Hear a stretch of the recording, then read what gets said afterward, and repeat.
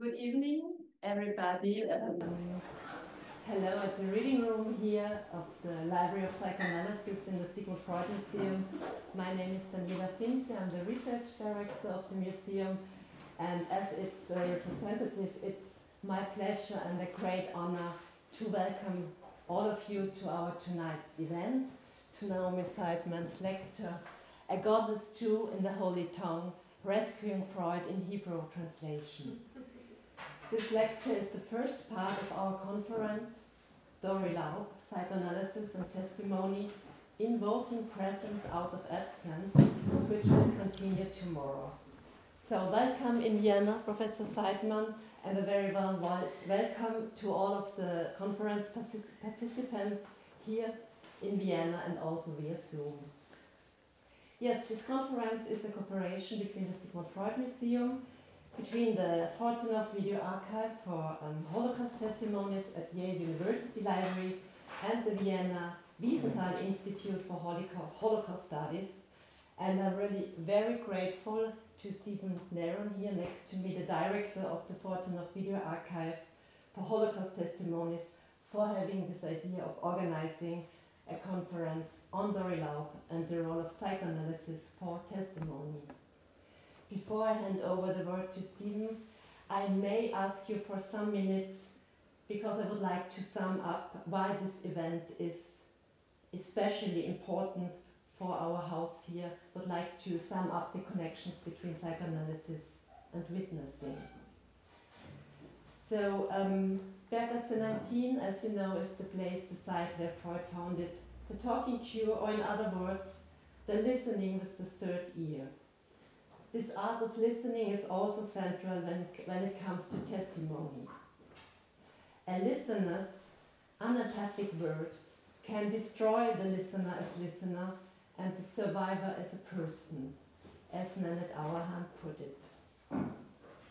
The museum here was opened in 1971 and renovated nearly 50 years later. And when we started to reorganize the museum and the permanent exhibition, our starting point was the fact that Freud had to flee Austria after the Anschluss in order to survive, in order to die in freedom.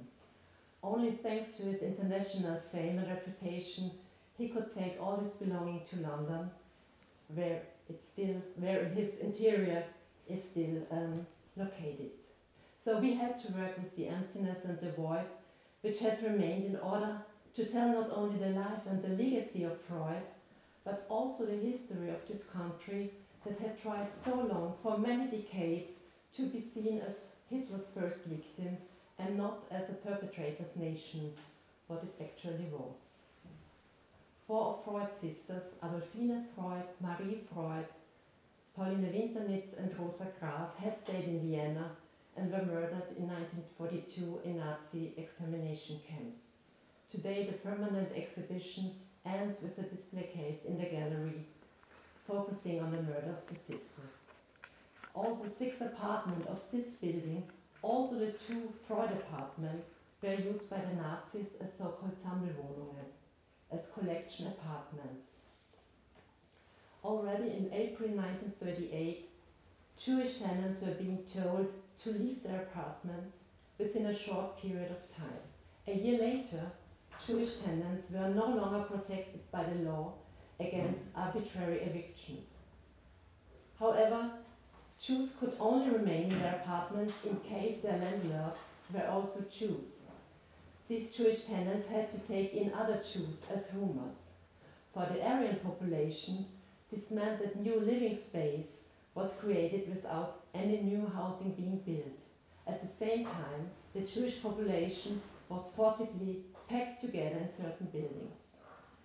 Ghetto-like situations developed quickly in certain areas of Vienna over the course of the summer 1939.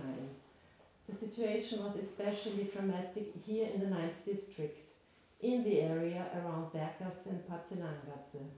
The houses Berggasse 17 and Berggasse 19 were among the most densely inhabited buildings by the Sammelwohnungen we have, and we do document this in the new staircase, the, the names and the life data of 76 Viennese Jews, mostly elder women, who were forced to take water in this building. This happened also here in this apartment, the former apartment of Matthias and Stephanie Adolf. Only very few of those who were brought to Berggasse 19 between 1939 and 42 could survive. To make a long story short, today the Sigmund Freud Museum is also a lieu de mémoire, a site of commemoration and memorial to all displaced and murdered Jewish Austrians. Regarding Freud's legacy and our approach to work with the emptiness, with the absence, which is also our annual theme in 2024, we decided to work with books, with books written by Freud, with beautiful editions, first editions, without or with dedication, which belong to our library.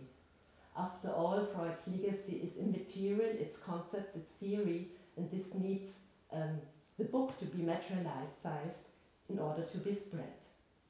If you know our permanent exhibition, you know that we are also displaying many exciting um, books in other languages because this is a very elegant and also incidental way of showing how, how early Freud was read and received all over the world. This started with the first translation from a Freudian text into a foreign language. It was in 1904 with the, the interpretation of Dream in Russian language.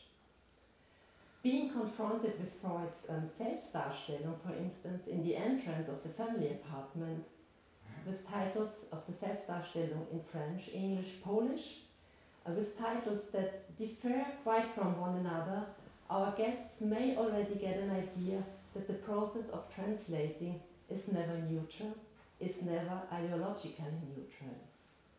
And so this is also the topic of tonight's lecture. And I'm very much looking forward to learning more about Freud's German, about the transfer of Freud's German into Hebrew and Yiddish, and Freud's ambivalent positions about it. Before I hand over now, I would like to say thank you um, also to um, Eva Maria Kleinschwärzer, who organized the conference, and I would also like to say hello to Mari Marianne Windsperger from the Wiesenthal Institute. Thank you so much.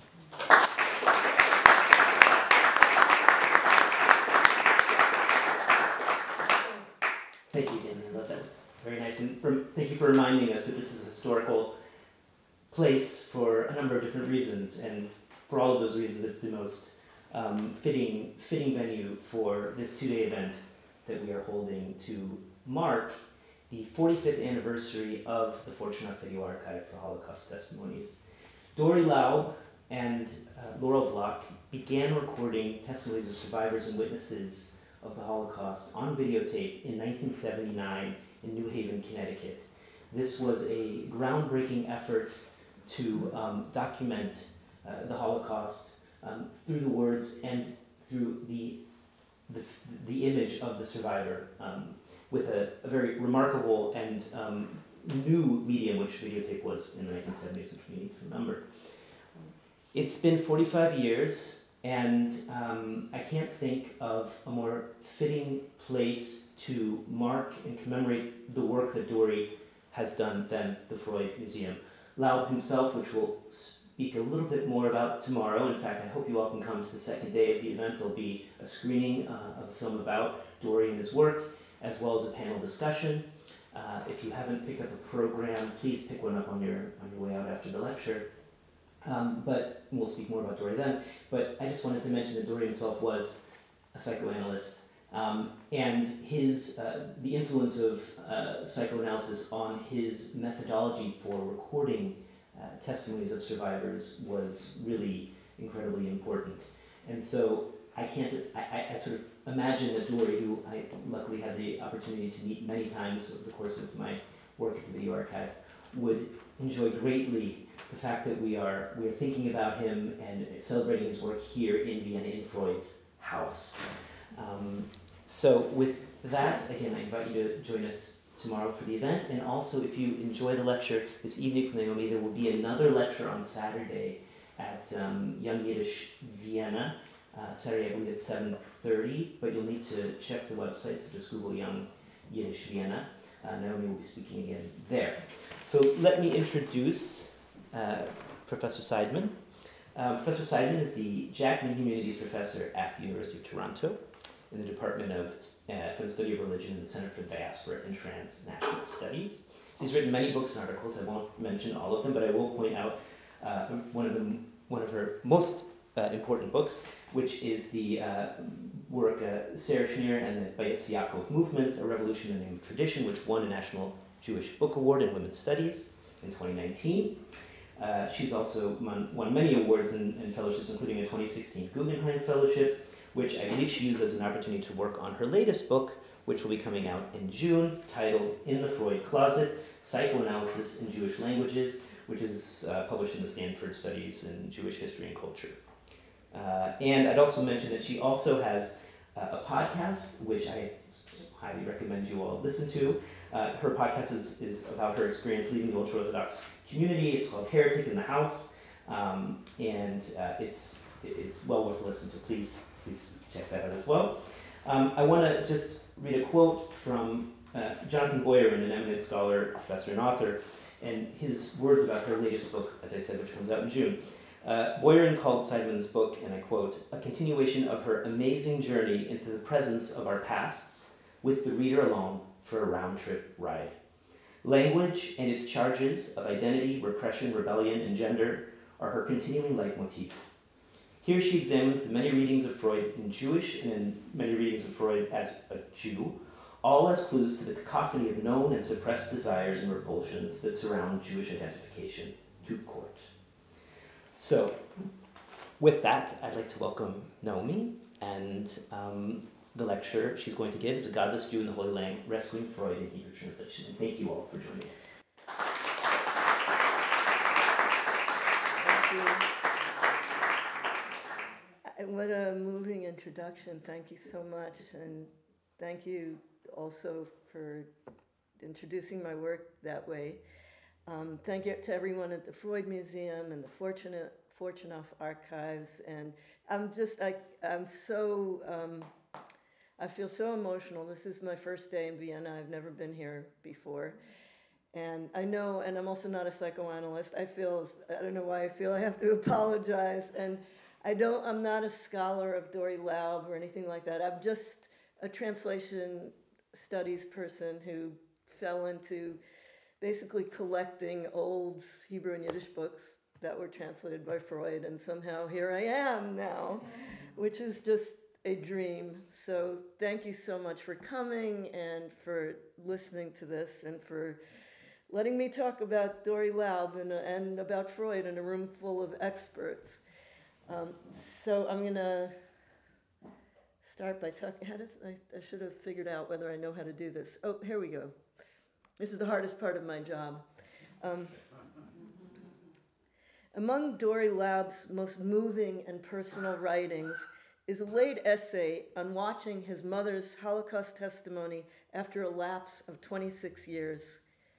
Thinking through yet again the power and distinctiveness of testimony, Laub writes In traditional psychoanalysis, the unconscious emerges without much propulsive force through the meandering roots of free association and the elucidation of the transference.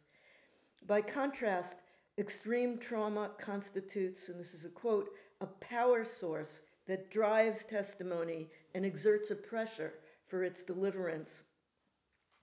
While testimony might take its place within a spectrum of psychoanalytically informed therapeutic interventions, it nevertheless has some unique elements, including the internal pressure to transmit and tell the real story that is there, and the yearning for and presence of a listener who receives it. My mother was like Dori Laub in Chernovitz when the war broke out. Um, she died a few months ago at the age of 101, only a few years after giving her testimony in English to Amud Aish, the Orthodox Holocaust Museum, which is now in the business that uh, Laub uh, inaugurated. She gave her testimony in English, and here, as elsewhere, translation is surely a complicating factor in the propulsive character of this testimony. And I'd like to um, dedicate this talk to my mother. As the last of the survivors leave this world, a new kind of urgency is felt in these, in these testimonies, a new temporality of belatedness, mediation, fragmentation, loss, all the affects and displacements that befall translation. By using translation as a metaphor for so many psychic operations, dream work, symptoms, transference, psychoanalysis itself in its hermeneutic mode, Freud also supplied an implicit theory of translation as drive and displacement in the face of repression, censorship, and amnesia. Laub offers the additional nuance of the yearning to tell, the yearning to find someone who will listen. These are existential and messianic hopes, calling to mind Walter Benjamin's view of the messianic role of the translator to grant a work its fortleben, its afterlife, or perhaps also, we might say, its survival. Piecing together the broken shards of language, the translator participates in the messianic labor of tikkun, the tenuous and partial repair of a broken world. Something like this mood, this urgent engine of testimony, this messianic translational drive rises to the surface in the reception and translation of Freud's work in the last decade of his life. In the summer of 1933, Dr. Samuel Perlman, scholar of medieval Hebrew poetry and former dean of Hebrew College in Boston, ran into Chaim Nachman Bialik on a Tel Aviv bus only days before the poet was to leave for Vienna to undergo a medical procedure. Perlman felt compelled to share with Bialik a dream he had long harbored of a translation series devoted to Hebrew renderings of works written by Jews in non Jewish languages. Recent events had made the project urgent. As Perlman put it, while Jewish writers had enriched the literature of non Jewish nations, these nations, by which he meant Germany, had thrown their work onto the trash heap or set them on fire. In the meantime, Perlman lamented, the younger generation being educated here in Hebrew are engrossed in the latest trashy novel and they will never understand the richness and anguish of the diaspora Jewish experience. Moreover, the Hebrew writer feels alone. The best among his brothers abandoned him to sing in a foreign tongue, impoverishing our internal culture. If we return to our midst those spiritual giants who sinned against us, our Hebrew will ring out more richly. In that conversation, and for years to come, Perlman cast the Hebrew Translation Project as a cultural parallel to the physical ingathering of diaspora Jews in Palestine, speaking of the pro- proposed translation as a, a, return of the straying children, Habanim Hatoim, to their Hebrew borders. Bialik would have missed neither the ideological implications nor the literary illusion which referred to the present wave of immigration while echoing Jeremiah's stirring, prophecy For there is a keep your voice from weeping and your eyes from tears. There is hope for your future. Your children will return to their own borders. Vishavu banim ligvulam, Jeremiah 31. According to Perlman, Bialik was very much taken with the idea of such a translation series and promised to continue the conversation when he returned from abroad. But the reunion was not to be. Bialik died of a sudden heart attack in the city a week after the operation. Mossad Bialik, the Cultural Institute and Press founded in 1935 in honor of the Hebrew national poet, accepted Perlman's proposal. Ooh, I just realized I haven't been using the mic. Can people hear me okay? Yeah. Um, so the Mossad Bialik accepted the proposal, um, although it wasn't until 1940 that Perlman could actually launch the series, which bore the meaningful title of Ligvulam, to their borders. As a report on the new series explained, The delay was due to the difficult conditions of 1930s mandate Palestine, not to a lack of enthusiasm or translators. The series focused on Hebrew, on German Hebrew translation at a moment when the libraries and cafes of Jerusalem and Tel Aviv swarmed with underemployed German speaking intellectuals in flight from Nazism, although, of course, most of them barely knew any Hebrew at all. Ligvulam, which ran for over two decades with Perlman at the helm, was controversial because some objected to a list that included converts to Christianity and other writers distant from Judaism, Spinoza. But Perlman felt that it was precisely because these writers had strayed that Ligvulam was so critical as a salvage operation of, of Jews who had grown distant from their tradition, but who were now endangered or their books were in any case. German Hebrew translation in such conceptions was something different and far more affecting than the act of lexical rewording from an original into a foreign tongue. Which tongue was foreign and which a mother tongue? Where was origin and where destination? Where home and where diaspora? All these issues were up for grabs again in the project Translation itself, so regularly signifying loss, here was conceived as salvage and recovery, ingathering and homecoming. As with other aspects of this ingathering, the manifest ideology had latent currents. Zionist, uh, so weird to use the word Zionism, it's such a dirty word now. what can I say?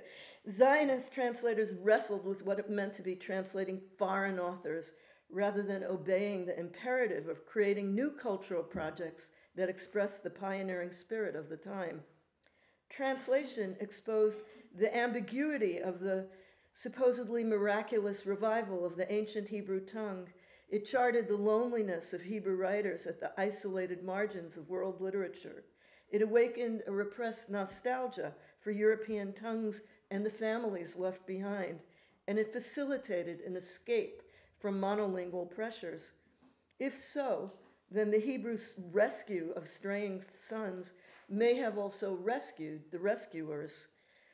Translation was also shaped by the psychoanalytically significant facts that translators were generally, I think inevitably always, non native speakers of Hebrew. The cultural context and the background of Immanuel Velikovsky's 1934 essay in Imago, can a newly acquired language become the language of the unconscious? And what did that plaintive question mean for translating the discoverer of the unconscious? Hebrew salvage translation might appear a marginal and historically specific phenomenon, um, but psychoanalytic translation during those years was swimming in similar affective currents with a similarly urgent and mournful mindset. Riccardo Steiner notes that Ernest Jones, sorry, Ernest Jones initiated the project that would become the standard edition in an emotional letter to Strachey, dashed off hours after Freud's funeral, uh, September 28, 1939 five days after his death. Jones wrote that notwithstanding financial constraints and the winds of war, he was enlisting Strachey in the project of securing a definitive edition for generations to come. Jones, who had turned 60 that year, was clearly feeling his own mortality, warning Strachey that if it is done after our time, it can never be done so well. A few weeks later, after Sir William Baggs, president of the Royal Society, rejected any support on grounds of the war that had just broken out. Jones urged him to reconsider precisely because of Germany's bellicosity, since, this is to quote Jones, to salvage from the Moloch of destructiveness something of our cultural and scientific treasures is an aim worthy to rank even with the patriotic duty of winning the war. Moreover, those of us who worked with Freud are few and old. It is we who must elucidate the meaning of Freud's illusions, which otherwise will be forever lost for those after us. Contra Bruno Bettelheim's famous diagnosis, this standard edition was a passion project propelled by emotions stirred by Freud's recent death, the outbreak of war in Europe, Jones' intimations of mortality, all the complicated emotions between the founder of a movement and his fervent, fractious disciples. The standard edition, too, is a salvage translation, with Freud's followers the exemplary transmitters of an endangered message. Freud's Hebrew and editors and translators have had no similar position, uh, may have had no similar positions at the master's side, but they made it clear that they also felt themselves to be among the elect who shared in the magnitude of Freud's achievement, not through direct investiture by Freud, but through the bond they shared by virtue of being Jews. That others, including the non Jews in London, were more evidently entitled to express their kinship with the great man only increased the urgency for Freud's Hebrew translators of staking a claim to their own closeness to the man and his plight.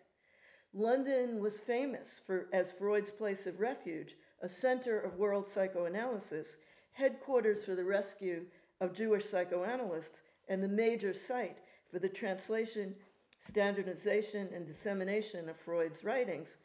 But Jerusalem too could serve as an alternative, far less prominent or even secret sanctuary for psychoanalysis, psychoanalysts, and Freud's embattled ideas, with Hebrew translators guiding the way. Um, and I forgot to include a side of this, but Max Eitingon at the Palestine Psychoanalytic Society, I don't know if you know, in his office, he had a map of the world with pins for each psychoanalyst and where they were around the world as if it was the secret headquarters of uh, the psychoanalytic diaspora.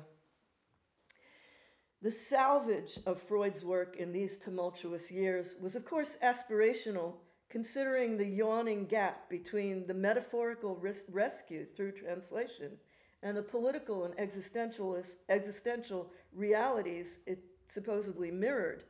Rendering Freud into another language could hardly put a halt to Nazi advances or save the lives of Jewish psychoanalysts. And even salvage translation had to contend with the inevitable specter of the betrayal and loss of Freud's ipsissima verba. In this sense, the rescue fantasy hid powerlessness and shame behind a superhero facade. As it happens, Emanuel Berman, um, I, I, don't know how well known he is, yes.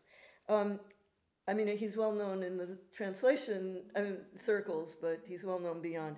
Editor of the Am Oved um, series on psychoanalysis that undertook to modernize Hebrew psychoanalytic translation in the 1990s, is among those who study the role of rescue fantasies in psychoanalysis. For many who choose psychoanalysis as a profession, Berman believes, these fantasies can be traced to the earliest ties to the mother, to the experiences of loss and restitution, to a reparation of damage caused by aggression, to the need to save a parent, to the rescue of oneself as projected onto the other. These unconscious fantasies do not diminish the value or efficacy of the work. Psychoanalysis could hardly exist, or the helping professions in general, without some kind of rescue fantasy. Psychoanalytic training should not attempt to eradicate these fantasies, but rather teach candidates to sublimate them into a realistic therapeutic frame of reference, freed from their characteristic grandiosity, narcissism, and regression. Sorry, everybody in this room. so evident in the tendency of rescuers to demonize an other. These rescue fantasies, Berman writes, may also take collective form, as in the dreams and utopian fantasies that spur national ideologies. Where the training for that will come, Berman doesn't say. From the stylistic perspective, let's see where we are. The drive to return Freud to his Jewish brethren found expression in a heightened and elusive Hebrew register. The motive for this, uh, the motivation for this style was no doubt overdetermined. Um, but part of the choice was that Hebrew translators, like their English counterparts, reached for a higher stratum of the language than Freud had generally mined in German. Um, as we know, he combined, let's say, more scientific clinical observations with almost no- novelistic storytelling and idiomatic prose. Um, where the standard edition reached for medical or scientific Latin, Hebrew translators reaching higher inevitably bumped up against the biblical and rabbinic Hebrew that they had acquired in yeshiva. If the effect on the standard edition was, as Bettelheim saw it, a flat scientism, the effect for Freud and Hebrew was rather to infuse psychoanalysis with effectively resonant Judaism, striking deep into the network of childhood associations and creating pathways between traditional Jewish culture and Freud's discoveries. The pattern was set by the first three book length translations of Freud, all of them by de Yehuda de Ver Devosis, um, Group Psychology and the Analysis of the Ego in 1928, the same year, by the way, that Freud was first translated into Yiddish. And I have here a copy of the Yiddish group um, analysis, group Psychology and the Analysis of the Ego, um, from a socialist uh, lending library in Toronto, last, uh, last uh, borrowed in um, 1948. um, that was followed by introductory lectures in psychoanalysis in 1934, Totem and Taboo in 1939, um, and uh, I forgot to mention in, in this slide, but uh, one of these, they were all published by different publishers but one of them was published by a, a, a Tel Aviv press called Yavne, and I don't know how many of you will recognize Yavne. Yavne was one of Freud's go-to ways to describe um, what he called the psychoanalytic diaspora. Um, he spoke to Max Weinreich, the director of the um, uh, psychoanalytic researcher himself and the director of the YIVO Institute in Vilnius also having to leave Vilna or to rescue um, this, the, the, the, research into Eastern European Jewry. And he said, We're both like Rabbi Yochanan ben Zakkai leaving the besieged Jerusalem to start an institute in the diaspora of Yavne.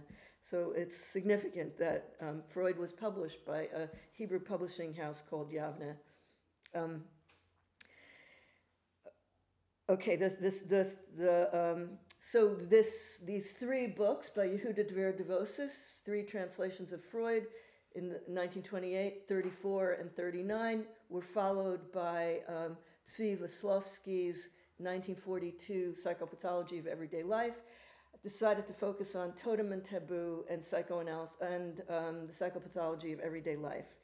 Um, both of these, neither of these translators was psychoanalytically trained, even remotely. Both of them were Bible scholars um, with traditional Jewish educations and PhDs from Central European universities. Um, and Iran, Eran Rolnick, who's the great historian of uh, psychoanalysis in Palestine, um, writes that when Veslovsky won the Tchernichovsky Prize in 1942 for his translation of the psychopathology, um, the committee emphasized that the excellence of his translation of Freud's book lay in its use of the language of the Mishnah and Midrash, creating an illusion that one of our ancients wrote the original. Freud himself was apparently not immune from such associations, um, writing in the preface that he provided for Totem and Taboo and some of you may know that the only two prefaces that appear that are canonized by being in the standard edition are the two prefaces that Freud wrote for Totem and for Yehuda de Ver Totem and Taboo and the introductory lectures in 1934 and 1939, though Freud wrote these. Apparently, it was the only thing he wrote in 1930 at all. I see this is great that people are nodding. This is niche, niche knowledge. Um, so Freud, in Freud's uh, introduction to Totem and Taboo, He wrote, apparently very moved at the thought that he was being translated into the Hebrew language, that the translation had clothed his words in the ancient language, which had awakened to new life by the will of the Jewish people. It's also true that Freud said very clearly that he considered totem and taboo to espouse no Jewish viewpoint, and that's also a quote. Um, and when he consulted in the 1930s with Devosis, um, Yehuda, uh, Yehuda Dvir Devosis was in touch with Freud, which was quite complicated because 1930s Palestine, not too many people had phones, and Freud's Hebrew translators were not among those who had phones. So being in touch with Freud required a letter in which you made an appointment at which De Vere Devosis would go to a nearby cafe in the Jerusalem neighborhood where he lived, where they did have a phone, to consult with Freud. So Freud was involved in this translation to some extent, and Freud really tried to talk Devosis out of working on totem and taboo, sorry, totem, totem and taboo, um, because he said, I'm working on a much more Jewish book that I think you'll like better, um, called Moses and Monotheism. Um, Devosis, for his part, let Freud know when the book was already in press and it was too late for Freud to do anything about it, that he had added some footnotes intending to corroborate the claims of your book and occasionally shed new light on them. The new light, although Devosis didn't say it, actually occasionally involved direct contradiction.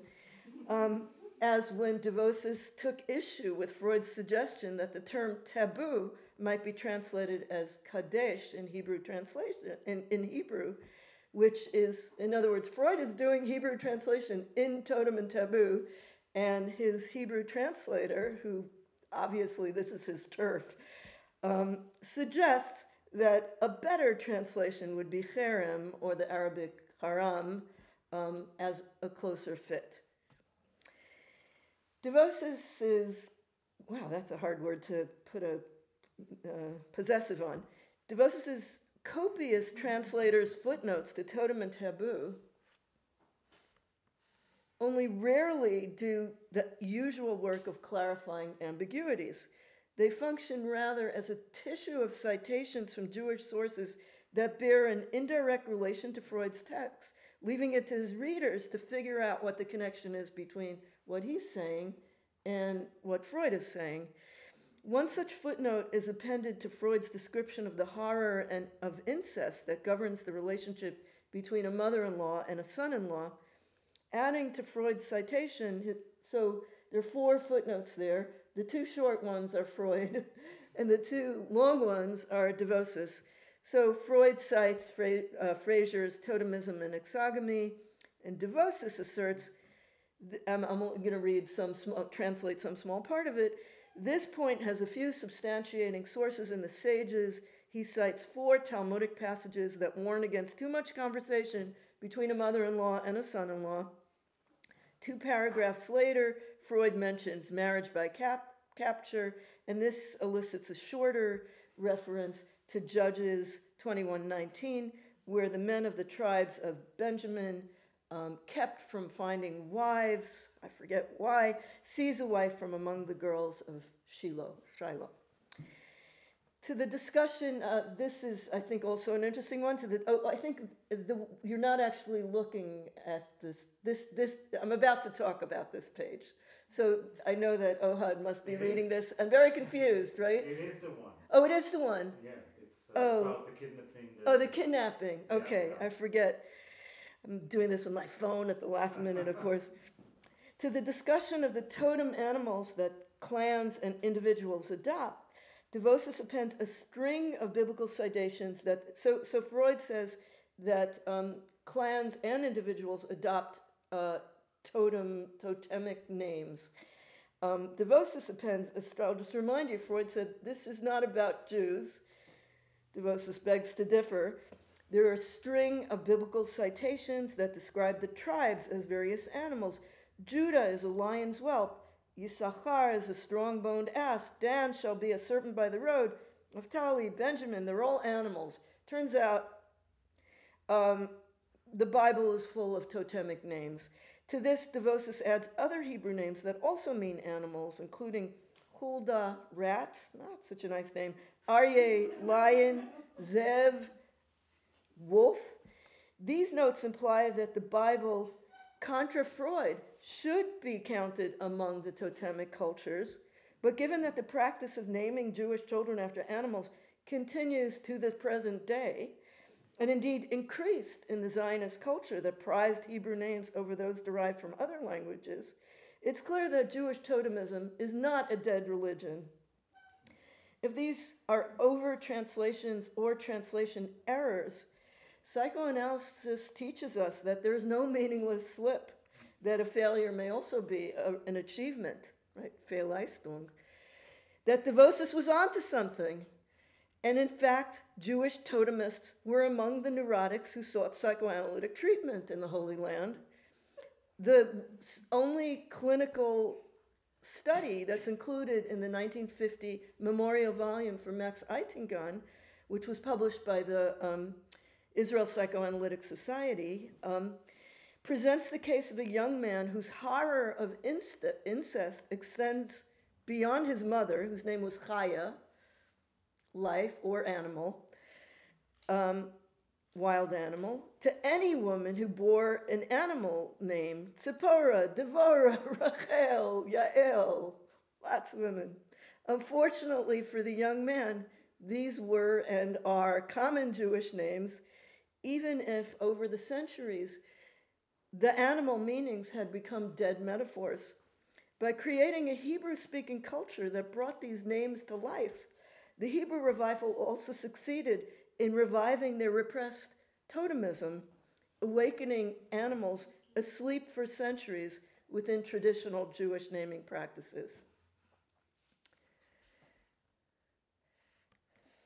How am I doing? Is this okay? Yeah. The same practice of awakening religious meanings buried in the historical strata of Hebrew marks the translation of the psychopathology of everyday life. Um, it's actually the second book to be published in Perlman's Ligvulam series, To Their Borders. And, um, and it's the place where Freud reckons with the meaningfulness of slips and other mistakes, and so very important for translation theory. This effect is most evident, I think, in the section devoted to the unconscious forces that render household objects so liable to breakage. Freud traces such accidents to all kinds of desires a desire to fix a friendship gone wrong, um, unhappy relations between employer and employee, and employee, and the sexual tensions and family rivalries that trouble even the most serene of bourgeois Viennese households, including Freud's own, which, as we know, was rather overstuffed with fragile objects Translation also reveals the unconscious forces that lead to a mishandled transmission, an eruption of the otherwise unsaid, a failure to grasp something correctly. Thus, when Freud knocks over a handsome glazed Egyptian figurine as unconscious penance for psychoanalyzing a friend who never asked him to be psychoanalyzed, um, Voslavsky allows us to hear Freud's penance as following a traditional Jewish path. Freud does tshuva, um, and he recognizes the breakage as biblical iconoclasm and propitiatory sacrifice. So Freud breaks a pesel, an idol, which people are always making that kind of joke that his he was had idols in his house. In the Hebrew, that's what he has. Um, and what he does to propitiate or to atone for the sin is called a korban mincha, which for the biblical scholars in this room, there must be some, right? Uh, basically, uh, the book of Leviticus says a lot about this kind of propitiatory sacrifice. Um, so too does the minor epidemic of broken glass and ceramic wares. Um, that overtakes the Freud household during the engagement of his older, oldest daughter Um, in Hebrew, this sad season of breakage echoes the divine accident and cosmic catastrophe of what we know in Lurianic Kabbalah as Shvirata Kelim. Um, Shvirata Kelim, the breaking of the vessels, which is the first thing that happens in the cosmos with the Lurianic idea of creation.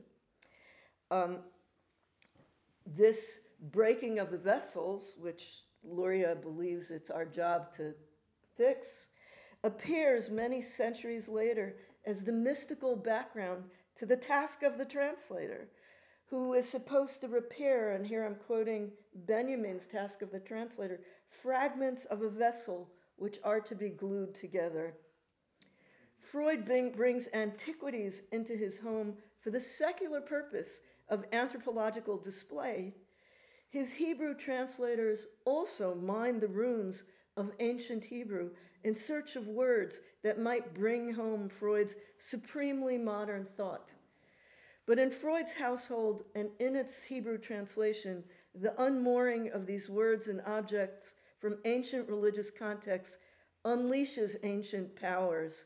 Gershom Scholem considers with such effects inevitable, writing that the Zionist attempt to transform Hebrew, the language that carries God's words, into a spoken and useful language is a false, profane articulation of holy names. In the danger of their return from the silent, forgotten layers of the language lies the Unheimlichkeit of the New Hebrew. If Hebrew is a repository of irrational and uncanny energies, translating Freud's work about unreason and ancient religions raises ghosts buried in both Freud's German and his translator's Hebrew. It's not always possible to say whether Freud's Hebrew translators discovered Jewish themes in Freud or rather imposed them consciously or through the language itself or through their own unconsciouses. Um, the passage in the psychopathology that describes the epidemic that preceded Matilda's marriage implies that Freud is, Freud's breaking plates had a sexual ideology, and that's much clearer in a larger context. But Freud makes it clear that, the, the, that wedding traditions were also involved, writing, At these celebrations, it's generally customary to break some dishes and bless the shards. And that's the Brill translation, not the Tyson's uh, standard edition that I just quoted. And Freud, in fact, during this period, we know Freud may have felt himself stymied from being the one to break the symbolic glass, a role reserved for Robert Hollitscher, his new son in law, a nice enough banker that Matilda had met on, on holiday. Or perhaps he hoped to be the one to break the plate, which is as parents do in traditional Jewish betrothals. It may be relevant to this mess that Freud had hoped for his daughter to marry Sándor Ferenczi, as he confessed to him in a letter on the very day of his daughter's 1909 wedding. Was Freud disappointed? Oops, here we have a picture of them. I, I actually, what I really needed is a picture of Freud looking longingly at Ferenczi, not a picture of Ferenczi looking longingly at Freud. What can you do? Was Freud disappointed to be robbed of his role as a traditional head of yeshiva, sizing up his unmarried students for their son in law potential? Stymied from integrating his disciples into the Freud clan, Freud nevertheless paid homage to the traditional role of father in law by acting it out to no effect on Matilda, but wreaking havoc on her stand ins in the kitchen.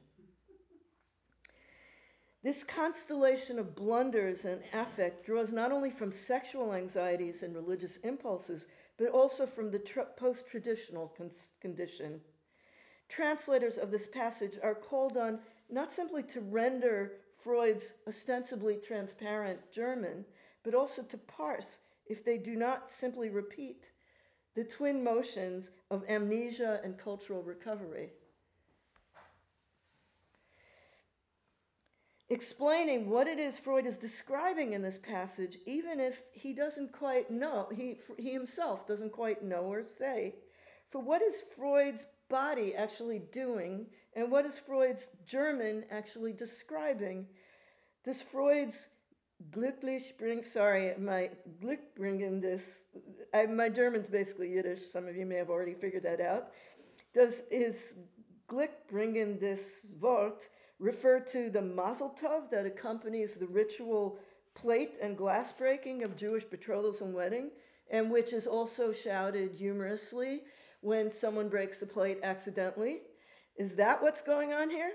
Maybe even in the Freud household they did that? Um, or is Freud really, does he actually have in mind the um, adage associated with the Polterabend that Scherben bringen Glück? Shards bring luck. And what's the connection between those German and Jewish traditions? As charming as it is to hear those customs described in habitual present tense in the Hebrew, and to hear Matilda's engagement rabbinically rendered as erusin, Wisławski's odd locution about blessing the shards suggests that he too is having a hard time pinning down these celebrations that Freud sees as the obvious motivation for his breakage. The inability of Freud's translators to settle on whether this ritual is still observed, right? Brill says it's customary to break some dishes. Um, Wisławski says, Nohagim b'derech klal linafetz, or it's a feature of the past. In the standard edition, Tyson writes, it used to be the custom repeats Freud's own blurring of the boundaries between present and past, abandoned custom that returns as unconscious slip. When mourning shades into melancholy, grief is stifled by disavowed hatred and ambivalence.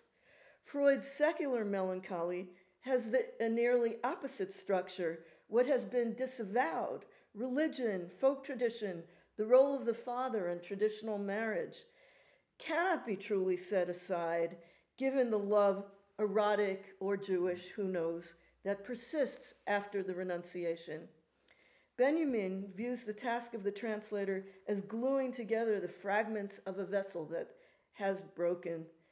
If these translators cannot heal the breach, it's because they too are inheritors of the same broken traditions that slipped through Freud's hands. The ingathering of Freud in Hebrew translation was not a one time event signed, sealed, delivered when psychoanalysis found an institutional home in the land of Israel.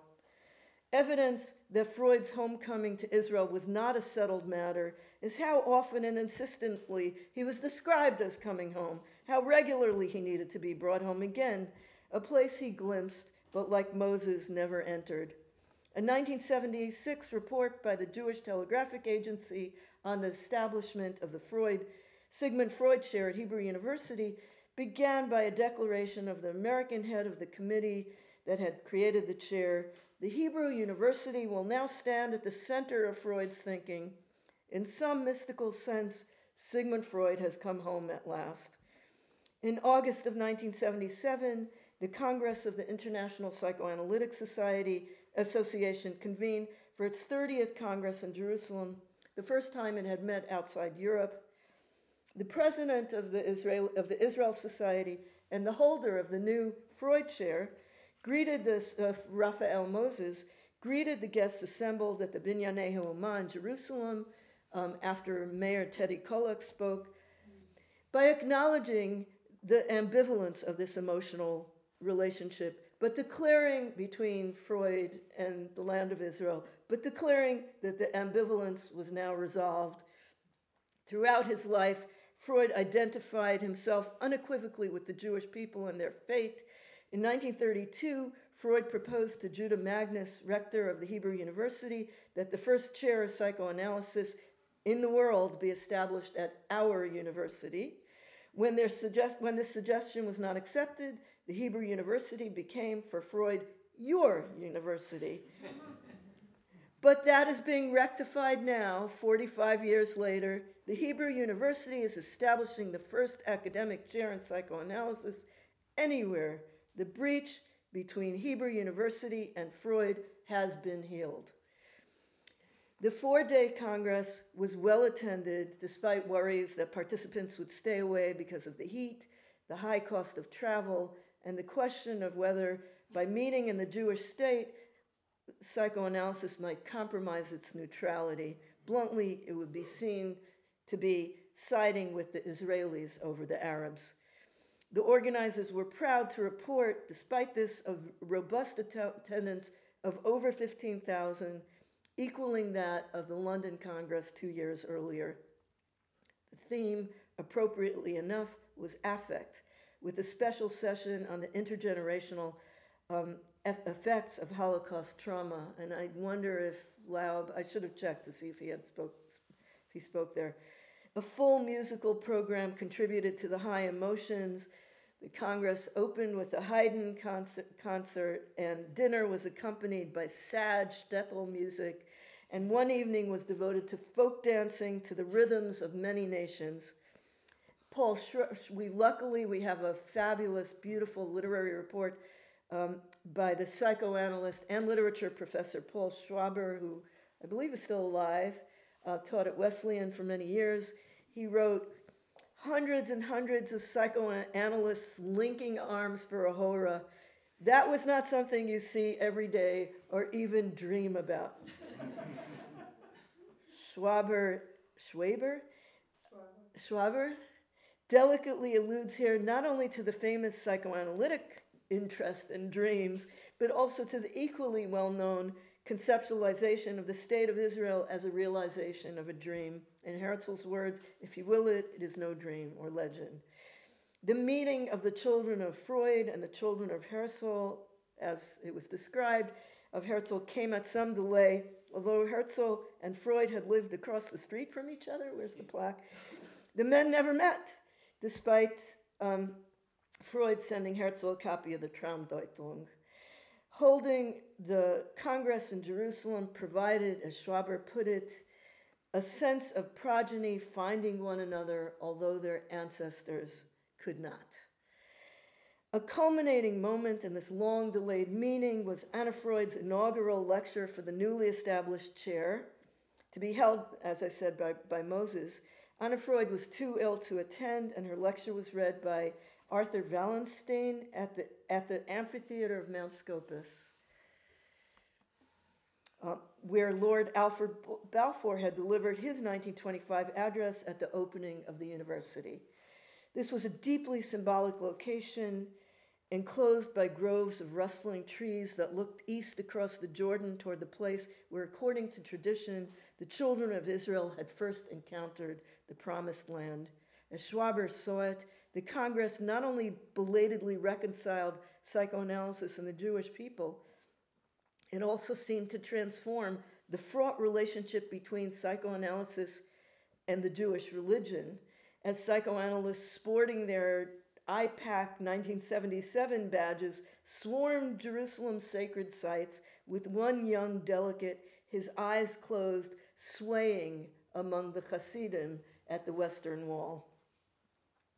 And yet, this emotional meeting was not an uncomplicated homecoming.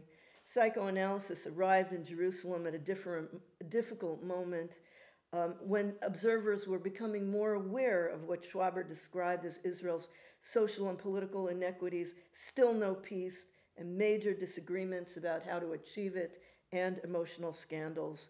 Um, another reporter on the, another person who wrote beautifully about this particular Congress uh, Shelley or- Orgel, reported on the symposium on, tra- on training for the first time held before the Congress, and she expressed a similar thought, writing that a pre-Congress marked by so much sharing of personal information encouraged her to speak openly about what it meant to be doing this in Jerusalem. For me, there's a, there, there's a real connection between one meaning of Israel and what is essential to our work. Both aim to cure illness. Both recognize that the cure is slow and uncertain, and that dark places in the human mind, buried in long forgotten and repressed paths, need to be brought into the light of confrontation to keep memories alive in order to approach the peace of true reconciliation with the history we have in common. Freud's first Hebrew translators had aimed to bring Freud back to his homeland, which was every Jew's as they saw it. So too were the missions of psychoanalysis and Zionism parallel to cure sickness, the sickness of the diaspora Jew. By 1977, this dream found a form of fulfillment complicated by unresolved memories and trauma, the Holocaust trauma discussed at the Congress, and the Palestinian conflict, conflict implied only indirectly in these reports. This indirection, too, now appears to us to be a form of repression. In the famous 2002 lecture at the other Freud Museum, later published as Freud the non- and the Non European, Edward Said suggested that Freud himself had anticipated the return of the repressed Palestinian in Moses and monotheism, which he reads as Freud's attempt to undermine any doctrinal attempt to put Jewish identity on a solid foundation, whether religious or secular. Contrasting Freud's openness to the non Jewish other with Israeli governmental policies, Said argues that, quite differently from the spirit of Freud's deliberately provocative reminders that Judaism's founder was a non Jew and that Judaism begins in the realm of Egyptian non Jewish monotheism, Israeli legislation countervenes, represses, and even can- cancels Freud's carefully maintained opening out of Jewish identity towards its non Jewish background. The complex layers of the past have been eliminated by Israel.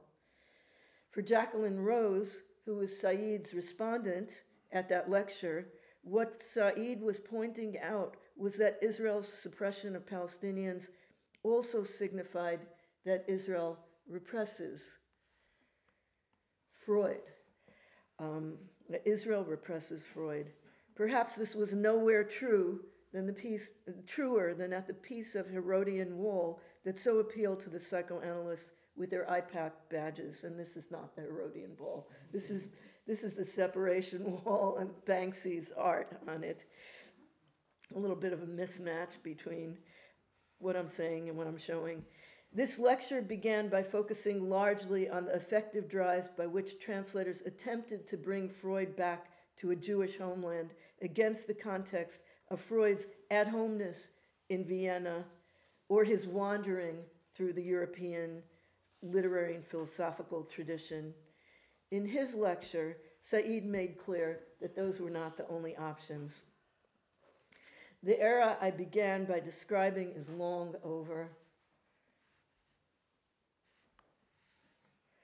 Translators now bring to Freud's work a Hebrew stripped of the high prophetic tones beloved by Devosis and Weslovsky, distancing themselves from the effects their predecessors prized in pursuit of a post Zionist Freud. The gifted and, pro, um, and prolific translator Ruth Ginsburg, um, who is my hero, um, and along with my mother, um, and here you see the, the works that she's translated um, rejected Moshe Ater's uh, 1978 Moses and Monotheism, not translated not that long before, because it was saturated in all the Hebrew language strata biblical, rabbinic, medieval, and modern. In the same way that Adam Phillips tries to wrench Freud away from the scientific Latin of the Standard Edition, Ginsburg and her peers seek to recover a Freud not yet hijacked by his Jewish rescuers. Um, perhaps this too is a rescue fantasy. Ginsburg reminds us that Freud read the Bible in German translation, where uh, uh, Ater and various earlier translators, um, all they had to do when they reached a, a point in their translation where Freud was quoting the Philippson Bible, they could pull the Tanakh down from the shelf and find what Philippson had been translated. Not Ruth Ginsburg. She translates the Philippson Bible into modern Hebrew. Um, and she describes this process uh, in this way. I reverted to the word monotheism in the title instead of adopting Ater's Emunat HaYichud. Um, emunat, the faith of unification, which is resonant with the Hebrew Bible, the prayer book, the hymn, commentary, Kabbalah. I was looking for linguistic elements, tricks even, that would estrange Hebrew and make it different, Egyptian, at least a little. If Freud is brought home in these Hebrew translation, translations, it's to a home prior to and different than the borders into which Perlman placed him. As with Said's Egyptian Freud, we are in the presence, even in the Holy Land, of a stranger, you can almost say emptier Freud than the one earlier translators had glimpsed in the shining Jewish mirror of their prose. Reflecting on translating Freud's The Uncanny, Ginsburg writes In the merciless mirror of the other language, the original sees its own empty spaces, the places it confronts and evades, experiences of the world for which only other, the other language has morphemes, morphemes or words. Via the other language, the lacuna of one's own language are reflected. Indeed, Psychoanalysis was not only formulated by what the German language says, it was conceived in what it and its creator, Sigmund Freud, did not, could not, or would not articulate. When Freudian psychoanalysis saw itself reflected in Hebrew, in my Hebrew, she writes, what did it see? And Freud, who refused to look into the Hebrew language, what did he not see? What did he not see? I'm going to end by just saying another word about Dori Laub, if that's all right. I am no great scholar, and I know there are many people in this room who knew Dori Laub personally and know knew his work much more thoroughly than I did. And I don't know what he would say in the present moment, though I'm hoping to learn more from all of you tomorrow. I'll just say that it's apparent far beyond psychoanalytic circles that we are living through a catastrophic return of the repressed, a failure to reach consensus about reality itself, an unfolding crisis of testimony in which receptive listeners are few and far between. In his meditation of the tale, uh, on the tale of the emperor's new clothes, Dori Laub talks about the collective delusions that engulf a culture. But he also strikes a note of hope in the child who calls out the emperor's nakedness, willing to stand out from the crowd in the service of a truth that others do not, cannot, and will not see. Laub writes, it's the very commitment to truth in a dialogic context with an authentic listener which allows for a reconciliation with the broken promise and which makes the resumption of life possible. The testimony cannot bring back the dead, undo the horror, or reestablish the safety, the authenticity, or the harmony of what was home. But neither does it succumb to death or to an ongoing repetitious embattlement with the past. It is a dialogic process of exploration of two worlds that are different and will always remain so. Thank you.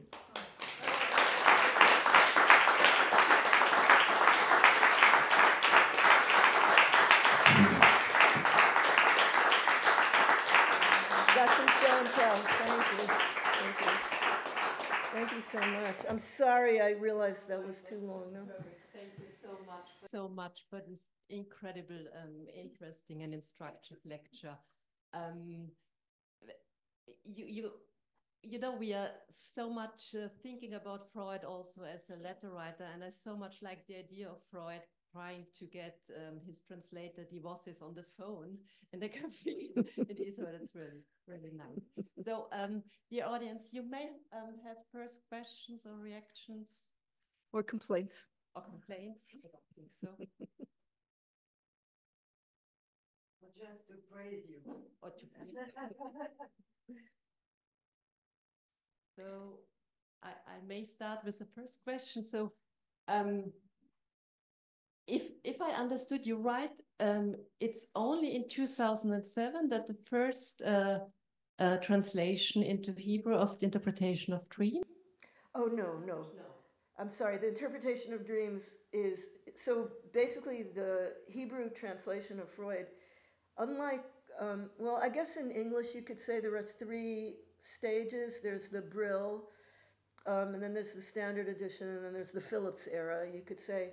Um, in Hebrew, uh, there's the these earliest translations, um, the ones I talked about here, and then there's another um, a 50s, 60s, 70s when Freud was translated numerous times. And these, I skipped over them, but some of these translators were, um, and they tended to be translated pretty much in the Zionist vein um, and in psychoanalytic series. And um, I'm sorry, not, yeah, yeah, I mean, Am Oved is the first psychoanalytic series, that's the 90s. So prior to that, they were not in psychoanalytic series, they were in German Jewish writing, and now they're being the main um, translator of psychoanalysis is the Resling Press, and Resling is from you know the Orange books. Resling is taken from a, um, an essay by Roland Barthes. So we're in a totally different. We're we're now fully international in. So it's you know Freud alongside Agamben and and Kristeva and you know etc. That's and, and that's the kind of psychoanalysis we now have in Israel. So she was referring to, so the, the first, I'm pretty sure the first interpretation of dreams is in the, maybe in the 60s, which is actually fairly late. And why wasn't it earlier? And there too, I could have used that as an example of um, the difference between, even in the title, you can hear the, the biblical resonances of the interpretation of dreams. Joseph is a dream interpreter. Um, all, even though Freud very clearly says in the interpretation of dreams, um, biblical dream interpretation is not what I'm talking about. You know, Jews are never willing to take a, that kind of negation at face value. Um, and Freud himself said, you know, I do have some kind of inclination to ally myself with the biblical dream translator. He says in the interpretation of dreams, because he had an, you know, he himself is a dream translator. So it's an extremely biblically resonant Zionist, let's call it, translation. And uh, Ruth Gins- Ginsburg translated this as an attempt to um, neutralize those associations in much the same way. I mean, Moses and monotheism is just a very good example of the same, her same tri- style. Sorry, that was way longer than you needed. You can also ask me about Yiddish if you want to know about Yiddish. Oh, really?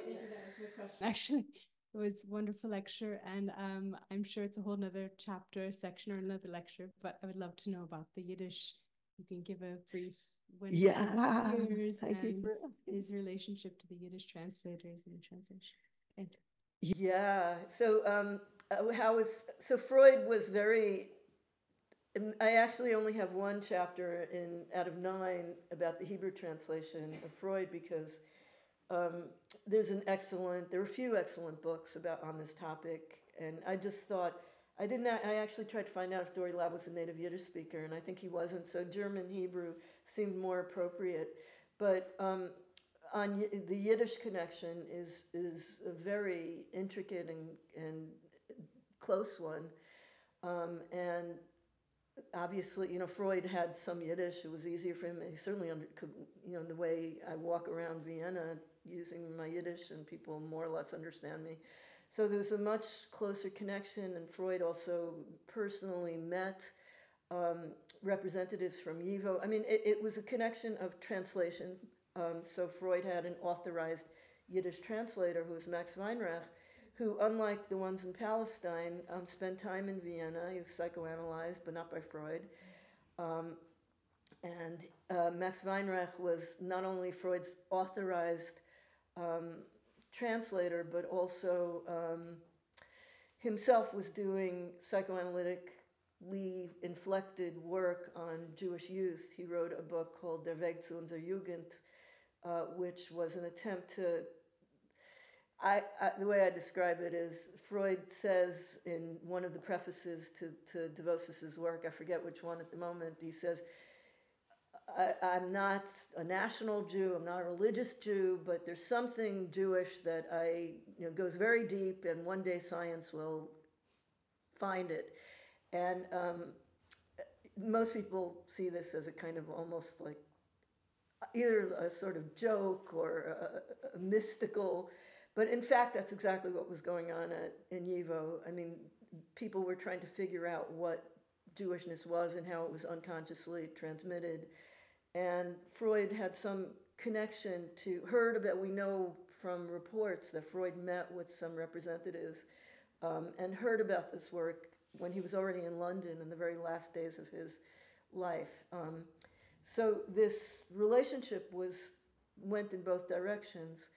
Um, in other words, like um, it was a special.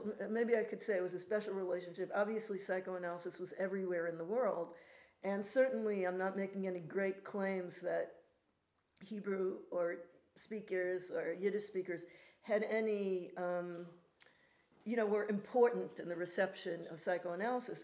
But it's clear to me that Freud felt that way, and he actually, you know, there are stories of him asking these YIVO representatives whether they're upset that, you know, he published a book like Moses and Monotheism. Basically, any Jew that crossed his path in the last year of his life was like, was that a terrible thing to do? You know, Freud sees these like more Jewish Jews as kind of like the representatives, and the YIVO the YIVO representatives who came to visit him in London were like, no, you have to tell the truth for the sake of science.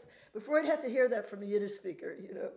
I mean, he knew it himself, but there was something about hearing it from a, a, a I don't know, Jewier Jew that, that helped him feel better. So anyway, the, my book has a chapter on the reception of Freud in the Yiddish press. There was a Freud craze in the 30s in Poland and New York. I think the one thing that I discovered that people didn't know before. I think this might be the one little piece of info is that when you read a history of why why is Buenos Aires such a huge psychoanalytic city, right? Eh, um, so a little investigation there. Um, so basically, when you read the histories of psychoanalysis in, in, Buenos Aires, it says that psychoanalysis basically arrived in Buenos Aires in 1931. It was like one of these early um, lecture, somebody started a, a, reading circle of Freud's work, so a, a rather belated history. Um, if there's a, a you know, uh, the National Library of Israel has a archive, has an online digital arch, um, archive where you can look at the Buenos Aires Yiddish Press. The Buenos Aires Yiddish Press recorded advertisements for at least 10 lectures on Freud to Yiddish speakers in the 19, in 1926 and 1924. Um, so Freud was a big deal in Buenos Aires Yiddish circles in the 20s. So um, it, one, one of the places in which uh, Freud was not belated in Jewish languages, but early. So I don't know why that seems so significant, but um, so and then I have a chapter also about what it means to translate you know, translating from German into Yiddish is always a, you know, you can take the easy path or you can make it a more Jewish translation. And um, Freud's first two translators, who were not Weinreich, um, but Sarah Lehrman, and they took the path of just Germanizing Freud's, uh, just Yiddish, just putting Freud's, just producing a very Yiddish, sorry, a very German Yiddish which is very easy to do if you're a translator, right? You just basically turn it into Yiddish, you put it into Hebrew letters, and you know, um,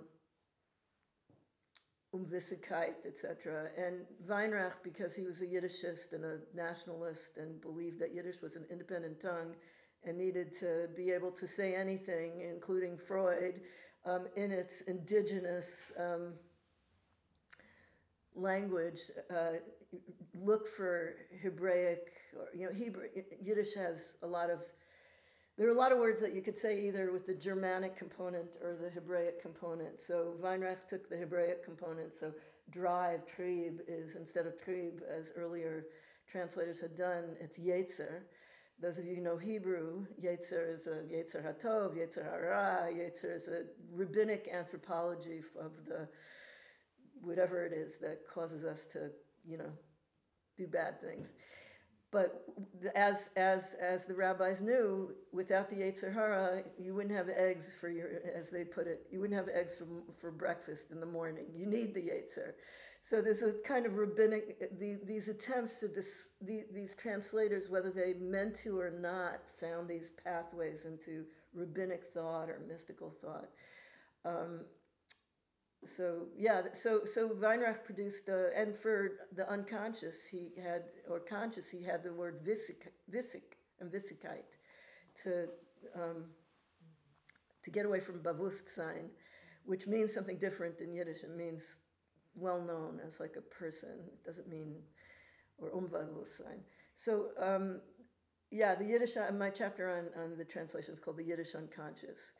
Uh, because I don't know how many of you know that there's like a long, uh, the association between Yiddish and the unconscious of assimilating Jews is a long, um, it's, almost an ideology. And um, the, the ideology is that if you scratch a German speaker, for instance, Freud, you will find buried in there somehow the Yiddish tongue that emerges in moments of great stress. So what the translators are doing is recovering that moment. And, you know, we have um, Freud in the psychopathology. He takes the hammer, he takes the tuning fork instead of the hammer, and he says, chamer, which he says in Hebrew means ass. he associates to a Hebrew word. And I'm like, um, no, it means you know, if he's really speaking Hebrew, it would be chamor. He's actually, so Freud doesn't quite say that. It's Yiddish that pops out in this moment when he picks up the wrong, when he calls himself an idiot. Chamer, I took the wrong thing. And he, anyway, it's a moment that, well, you don't know the whole psychopathology by heart? Where am I? What am I doing here? anyway, that was, uh, that was a somewhat incoherent, but the book is coming out in a few weeks, really, I think early May. Just a small question, but it's for the next evolution. Um, because you were you were thank you first of all for brilliant lecture really oh, wonderful um, what about the influence of his mother you talked about mother tongue and um, since rumor has it and you know you probably know this better but that he did visit uh, his mother every Saturday. Right. supposedly she spoke Yiddish. So to what extent he was yeah quite yeah. well aware and maybe knew even a little Hebrew uh, through her.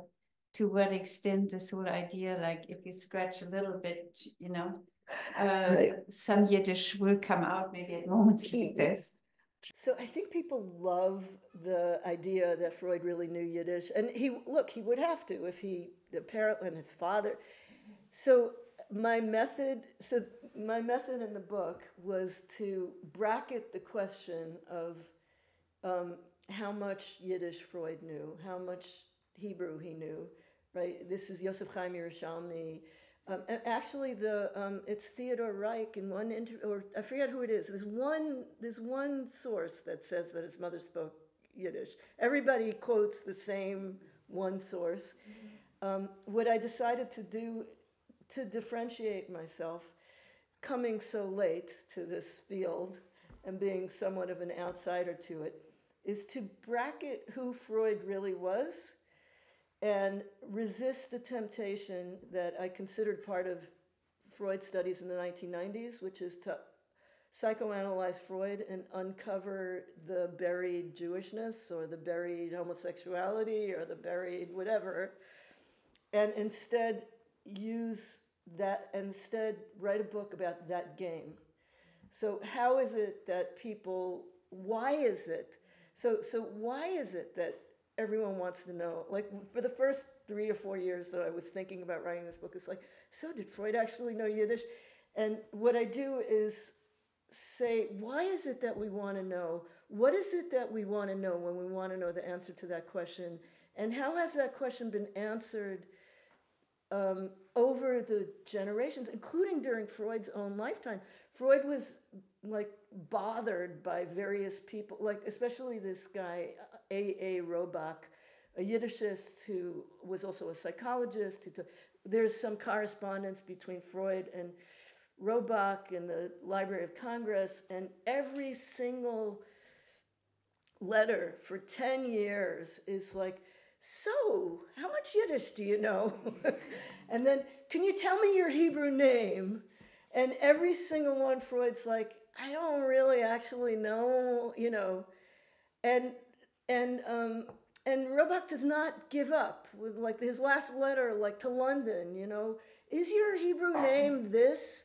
And can I, like, so what I wanted to talk about was not this is a new book that will tell you something about Freud that you didn't know, but to talk about how, especially Jews, had such a desire to connect with him below the you you know everybody else oh he's brilliant he's famous he has these complicated ideas.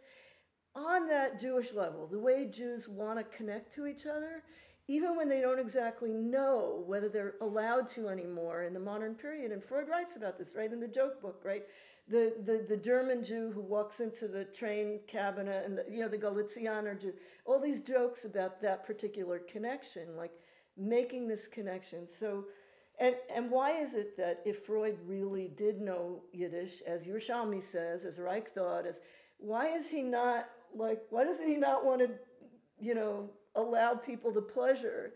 He says, I hate to deprive you of the pleasure it would clearly give you. says this to Roback. If you found, and you're a, a great champion of the Yiddish language, but you know, Freud's like he, he's desirable. He's an object of desire. During the, one of the things that I covered, this is one of, I have one chapter that's just Freud and popular culture, and there's nothing fancy about it, and it's just about famous Jews and lists of famous Jews in the 1920s and the 1930s. And it was a kind of craze, like people, there would be arguments about famous Jews, and there's, you know, the explosion of newspaper culture. They needed to fill the pages. These are Jewish readers they basically, what did they want? They wanted to be quote unquote educated, they wanted to be entertained, and they wanted to hear about famous Jews. There was only one person in the world that could do all that in one, in one person, and that was Freud. So Freud was like famous and persecuted for being Jewish, an added benefit. Um, I mean, he was, he wrote about sex and he was highbrow. So you could feel sophisticated and important, and um, and you know what the details were. Yeah, so so basically, Freud was everywhere in the Jewish press, usually in a very superficial way, but in the more highbrow press in, in, in great immense detail. So one of the, I mean, Freud always talked about the resistances to his Actually, the first thing that was published in Hebrew was uh, before the books, I think in 1924, was resistances to psychoanalysis. Mm-hmm. And one of the things that Freud had in his favor with at least some audiences was um, there was something about the Jewish connection that could help people overcome resistances. Does that make sense? Well, by not I mean, by not making him, by refusing to be the object of their desire, he created more desire, right? I mean, it sounds like what you're saying that from the very beginning there was a sort of this. He was holding back. Yes, and that makes him right. more desirable. Except at the very end. So uh, one of the most moving things. I mean, at the very end, he um, he reached out to he allowed, you know, there's a period in his life when he was being very careful about who he was seeing.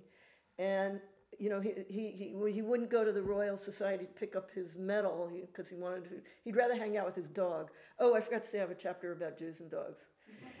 um, I remember the sentence I had, I got lost halfway through, which is that this is a backwater in the reception of psychoanalysis, but it, it's also a, a royal road, maybe, at least in my opinion.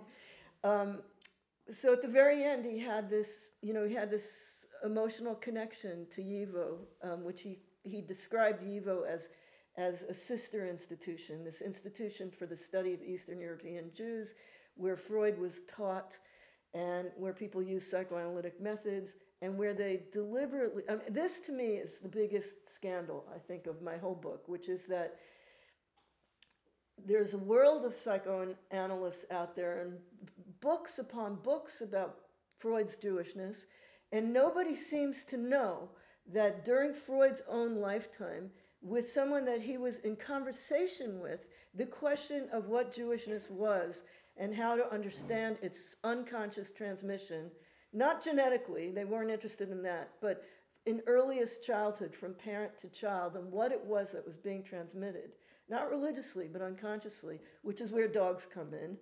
Um, they were very interested in dog pho- phobias, and as we know, the, Freud's first um, Freud's first, well, Freud's only child uh, case study is, is little Hans, who had an animal phobia. So they worked on animal phobias in Vilna at the YIVO Institute. Freud, I mean, much, much earlier, had written a case study in which there's one footnote about, um, strange footnote about circumcision in there, but there's also an exchange of letters with Max Graf about why it's important to raise the child Jewish because um, because Jews he will be treated. I think what Freud said is he'll be treated. He'll he'll encounter anti-Semitism in any case, but to grow up Jewish means to grow up with the strength to deal with anti-Semitism. He didn't further elaborate, but if you want to understand what that means, read Max Weinreich's entire book which is basically a description of how it is that Jews develop compensatory mechanisms, which is a concept that he, he discovered from race scientists in the American South, for, which basically salve the ego when it faces insult.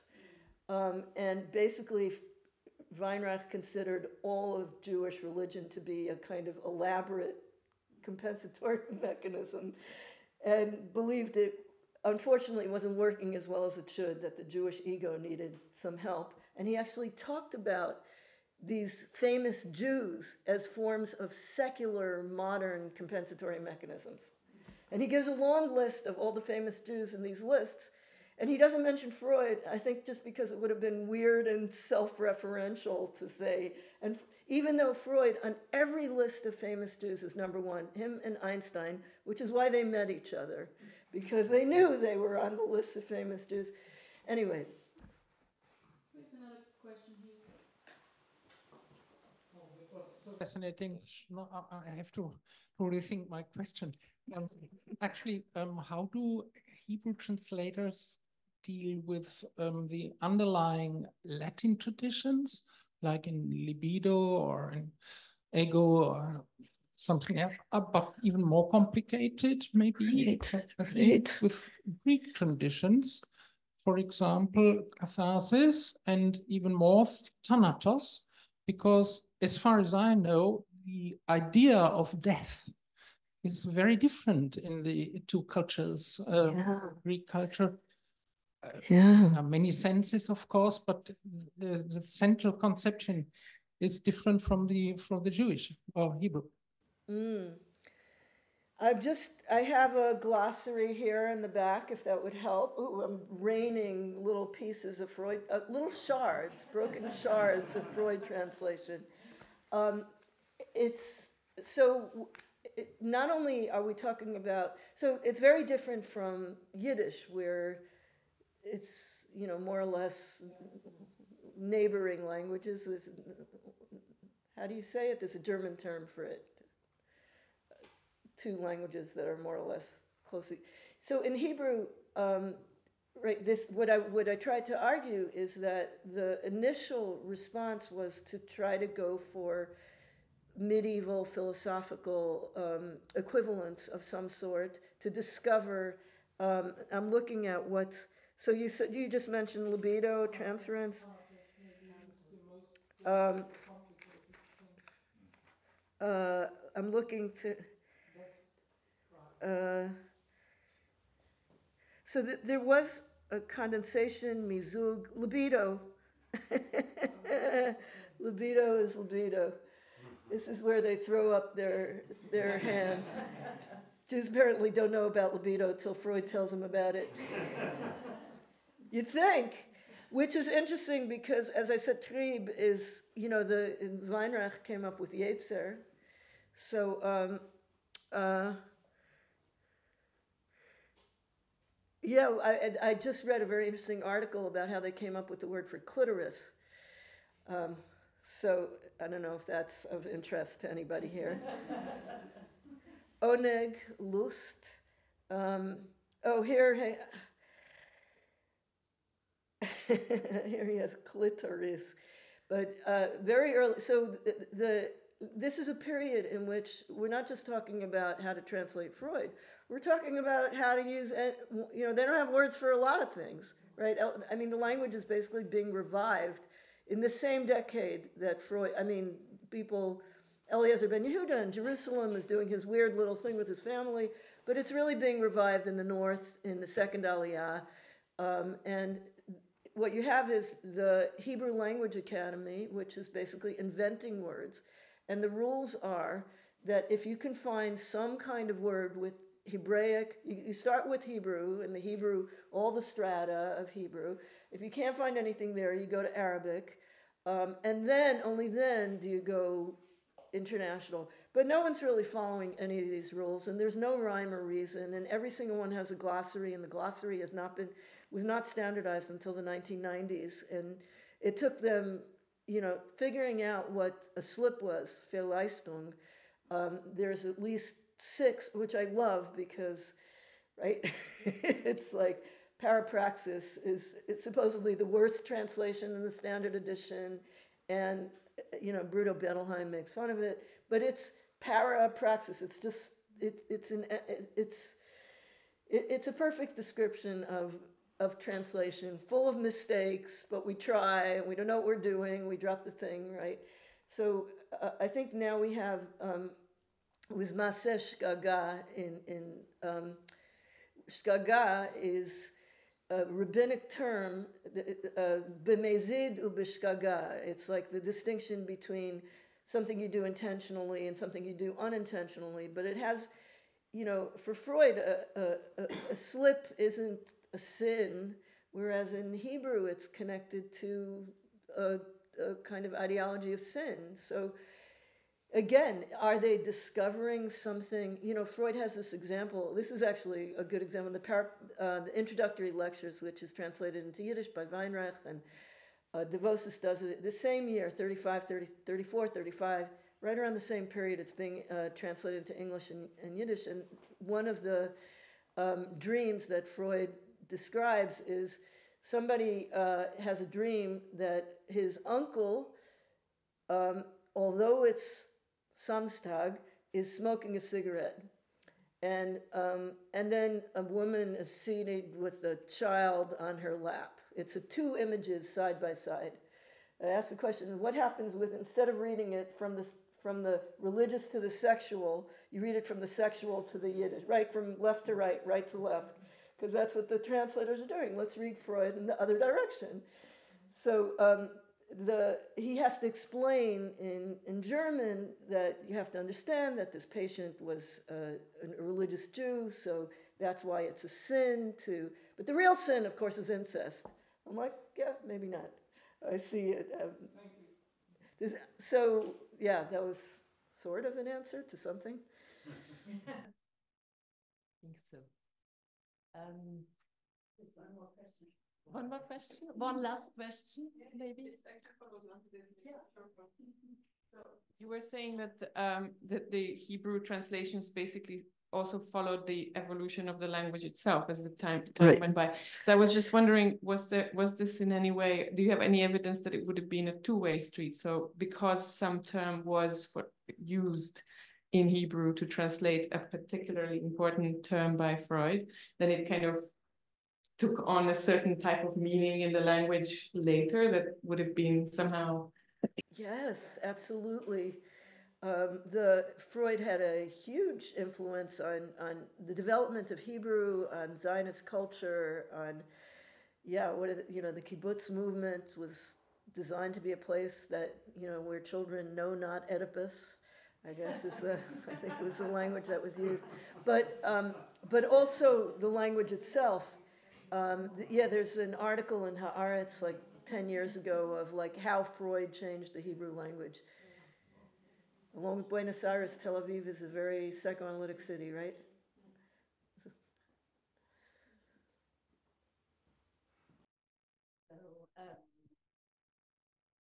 um, I, just would like to come back to the books in our exhibition because if you haven't seen it, we have a beautiful um, copy of the Hebrew trans translation of Totem und Tabu of um, Devosis.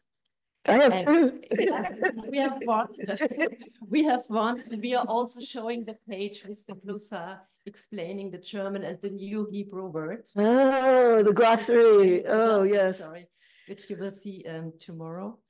Um, but as a matter of fact, and we are sitting here and viewing um, the different languages, uh, translation of Freud's text in different many languages.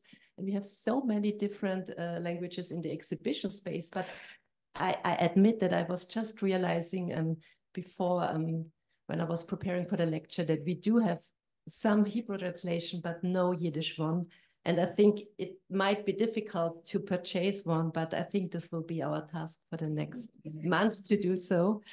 Um, yes, and with these words, I I also have two copies of uh, The Psychopathology of Everyday Life. I would, I actually like this one a little bit better, but I'll give you the other one. I'll mail it to you. Yes. the- Uh, one is the first edition, one is the second edition, both nineteen twenty-eight. I just love this one because it was a library book. 48, yeah, this is great, but this is another very generous act. But first of all, I would like to say thank you, or we, we would like to say thank you for this, um, as you said, brilliant lecture. And you gave us so many things to think about. And I'm happy that we can continue tomorrow. We start at, at 1 p.m. Uh, in the afternoon uh, with a short introduction of the archive and then your film, The Listener. And uh, yes, thank you so much.